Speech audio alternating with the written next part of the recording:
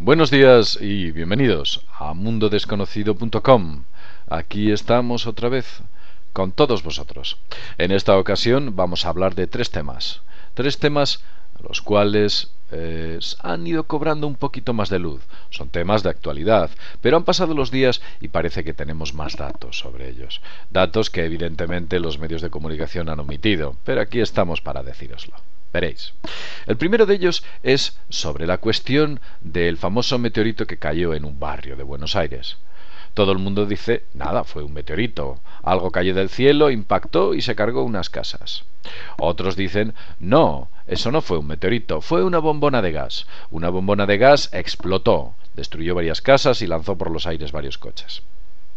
Esa es la versión oficial, la de la bombona de gas. Pero vamos a ir un poco más lejos, porque parece ser que las cosas no son lo que parecen. Resulta que la onda expansiva se escuchó a 13 kilómetros de distancia. Una poderosa bombona de gas. Demasiado. Lo curioso es que la casa donde ocurrió la explosión no utilizaba bombonas de gas. Y cuando las cámaras de los medios de comunicación enfocaron a esa supuesta bombona de gas, estaba intacta. No había sufrido ningún tipo de deflagración. Un extraño efecto colateral, según cuentan, es que en toda, en una enorme zona, se fue, se apagó la luz. Existe incluso una fotografía de algo que cae sobre el cielo. Pero lo más curioso es que a la persona que hizo la fotografía fue encarcelada. Está en la cárcel. Tiró una fotografía, dijo que eso es lo que vio y ha sido encarcelada. Encarcelada por falso testimonio.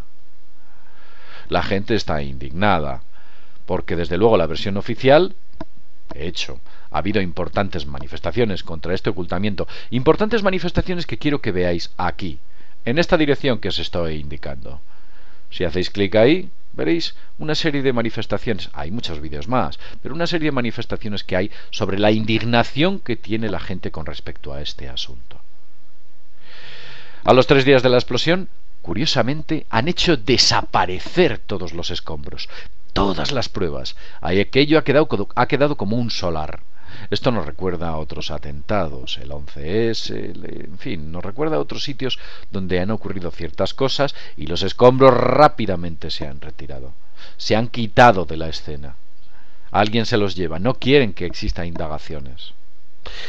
Incluso hay un testigo que asegura que antes de que la policía llegase al lugar, una serie de personajes estaban rastreando algo con una especie de aparatos extraños. Ahí está. Las autoridades se han cerrado a la teoría de la bombona de gas. Solo piensan en eso y no quieren saber nada más. ¿Quién controla esos poderes para que se cierren las autoridades a otro tipo de investigaciones? ¿Por qué los medios de comunicación y el gobierno no quiere saber nada más. No se habla sobre ello. Existe un ocultamiento. ¿De qué se trata? ¿Del satélite UERS quizás? ¿O de alguna otra cuestión? Lo que a buen seguro no es es una bombona de gas. Nos están tomando el pelo, siempre lo han hecho, y aquí estamos para denunciarlo.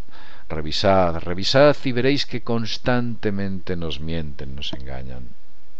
Aquellos que contamos o aquellas personas que dicen algo que se sale de la versión oficial son, si se salen de la versión oficial, son reconducidos a la versión oficial, intentando de ese modo eh, eludir cualquier tipo de teoría eh, alternativa al asunto. Claro, cuando es una teoría alternativa, dicen la teoría de la conspiración, cuando la auténtica conspiración se encuentra en la versión oficial como así ha ocurrido en muchas de las ocasiones. El segundo tema que quiero tratar es ni más ni menos que la incorporación en España de un escudo antimisiles por parte de la OTAN. Sí, se pretende montar en España un escudo antimisiles. También habrá cuatro buques de guerra, todos montados en la base de Rota, en Cádiz, en España. Nuestro presidente Zapatero ha firmado un acuerdo por el cual consiente dicho despliegue pone en España en el punto de mira en caso de conflagración internacional. Demuestra el calado servil del Estado español quien parece ser un país satélite de esas potencias del oeste y de esos extraños poderes que están en la sombra y que desde luego hace mucho tiempo que nos controlan y controlan los principales acontecimientos y los principales sucesos que han ocurrido en los últimos años. Como presidente, y hablo de Zapatero, es casi eh, que en estos momentos está en funciones debido a que hay próximas elecciones, parece que quiere morir matando, quiere hacer y firmar rápidamente todas esas cuestiones que sus amos le están diciendo que debe hacer. Tal vez esté haciendo un favor a los mismos que estaban detrás del 11S. Y claro está, también se ha saltado un referéndum que hubo en España en el año 1986 donde se permitía que España entrase en la OTAN de manera política, pero no militar. Y sin embargo nos estamos cargando de misiles y sistemas antimisiles y de barcos de guerra. Todo con la coartada de que supuestamente ese sistema de misiles eh, nos podría defender en caso de que hubiera un conflicto armado o que Irak decidiese atacar, por ejemplo, a España. Irak. Irak está. Irak. Irán decidiese atacar a España. Irán está a más de 5.000 kilómetros. Imaginaos qué misiles tendría que desplegar Irán para poder llegar a España. O, por ejemplo, Corea del Norte, que también es otro de los eh, puntales que alegan. Corea del Norte está más allá de 15.000 kilómetros. Imaginaos qué despliegue puede tener un país como Corea del Norte para poder desarrollar esos misiles. No son ellos los que tienen misiles ICBM intercontinentales. Los que tienen ese tipo de armamento son los mismos que están montando esos misiles aquí. Todo esto parece ser una especie de preparativo de guerra. Una especie de preparativo sobre una futura guerra que quizás se produzca entre Europa, Estados Unidos por un lado y Rusia y China por otro.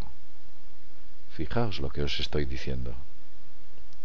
La toma de Afganistán, Irak, bases estables en Oriente Medio, el control político y social de esos países en los que se han fabricado esas revoluciones, donde los dictadores han sido retirados y han puesto hombres de paja al servicio de ese mando de Occidente. El despliegue de la OTAN con sistemas antimisiles por toda Europa ha generado un malestar en Rusia, quien desde luego ve claramente que es un hostigamiento. No son tontos. ¿Sabéis cuánto cuesta este sistema antimisiles que se va a montar por toda Europa? 200.000 millones de euros. No, para eso no hay crisis. ¿Qué es lo que se acerca? Que se avecina.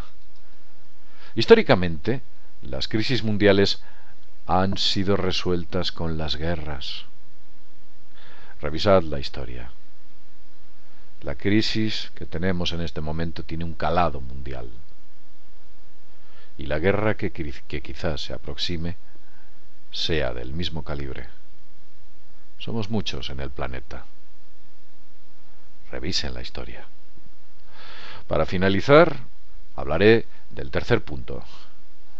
Decir que aquella famosa página sobre lo sobre illuminati.org de la que hablamos en este videoprograma, lo podéis ver aquí, en el que dijimos que bueno, que había una misteriosa cuenta atrás en una página web que era illuminati.org. Bueno, pues os diré y os confirmo que es una broma. Han sido varias personas del mundo desconocido quienes nos han dado múltiples imprecisos detalles sobre este juego, que incluso apuntan a un famoso humorista. Asimismo, sobre el redireccionamiento de Itanimul .org, que Itanimul es Illuminati al revés, eh, nos eh, hace dar, nos hace ver claramente que se trata de otra broma. Lo que ocurre es que cogen un nombre de dominio y la IP de redireccionamiento se la enlazan a otra gubernamental como es la NSA, nada más. Eso lo puede hacer cualquiera. Es un juego, una broma. Intentan vincular la cuestión de los más que sobre la cuestión Illuminati con una especie de broma, una especie de idea irrisoria, algo gracioso, ja ja ja, los Illuminati, qué tontería. Fijaos qué broma os he gastado. Os voy a decir qué es lo que va a ocurrir el 7 de diciembre de 2011. Pues sí, esa cuenta atrás llegará a su final la que habéis visto, y saldrá una serie de personajes en los medios de comunicación diciendo que ellos han creado un proceso viral por el cual han conseguido que los más media, uy, los más media, que las redes sociales, que en internet todo el mundo estuviera preocupado por esa fecha, que era así de fácil, que las premoniciones, bla bla bla bla bla bla bla bla bla. Y de ese modo crear un calado social, una idea en el cual la gente vincula Illuminati, Illuminati, poderes en la sombra, con una broma, una tontería. Ya sabéis, crean axiomas. Bueno. Sospecho que los Illuminati sí tienen webs. Por supuesto que las tienen. Esos poderes en la sombra tienen webs. Pero veréis, las webs de los Illuminati se esconden bajo los dominios gov, G-O-V. Son webs gubernamentales. Ahí están.